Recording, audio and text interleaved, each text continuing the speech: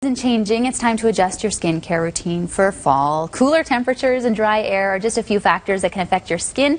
Joining us with some great tips, Karen Malcolm Pye this morning. Thanks so much for coming in. Oh, you're welcome. It is that transitional period, and It we is. are getting into the point where it's really dry, and that can take a toll on your skin. Yeah, it, it actually started in September this year. I started seeing my client's skin changing early this year. Um, and there's just some basic uh, new products or just new other products that you can add into your already current routine.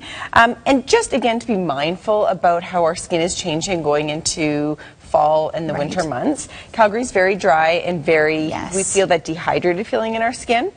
So where I just wanted to start was with a day cream. Now, Okay. uh, in the summer, we typically can go with just a nice soft lotion.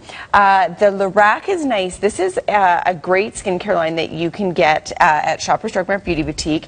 And what I brought in was a, the serum and also the oxygenate, oxygen, oxygenate, oxygenating. I always have trouble Easy saying that say, word. yeah. Uh, it's the hydrating cream. Okay. And what is beautiful about this line, this is the Hydra, Hydragenist, is this is going to provide a lot of moisture, calming on the skin, but beautiful, beautiful for daytime. Okay. Now, if you're somebody who just likes something a little softer, they have the serum, then they have the heavier cream, so you can kind of play with it to see what you need for your skin. Some people still do like the serum um, in the winter, but on those days you need a bit more, you can also add the lotion as well. So think in, in terms of daytime.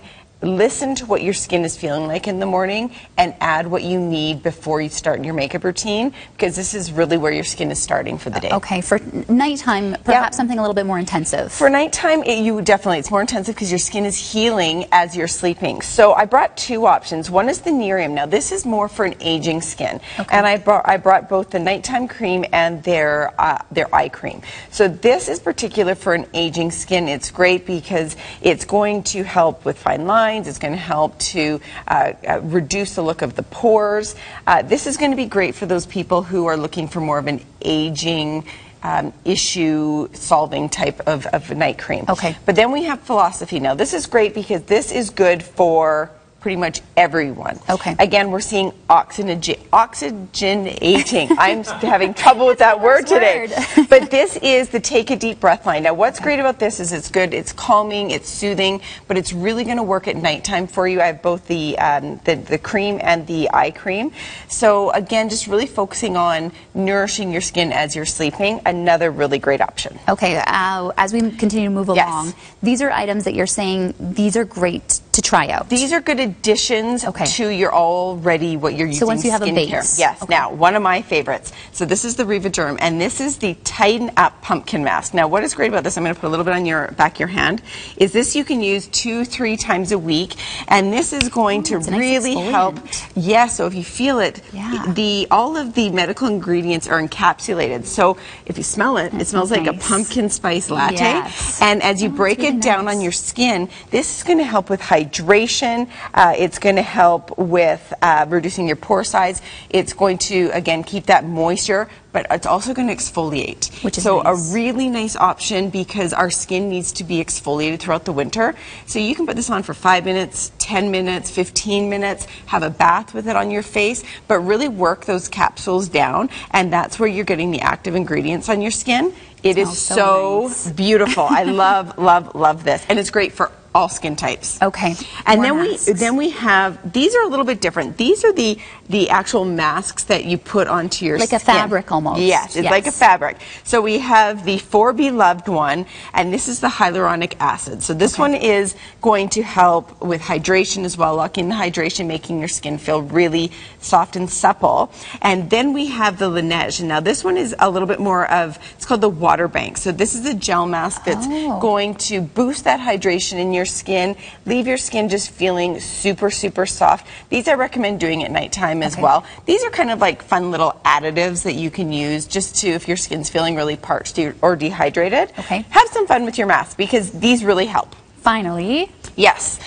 Always want to cleanse your skin, specifically at the end of the day. Now, what I'm looking at with the cleansers is the Bioderma. We have I brought two, and we have the Hydrabio and the Sensi Bio. These are both hypoallergenic, paraben free, very gentle on your skin. Is going to take all your makeup off. You really want to make sure you're cleansing your skin at the end of the night.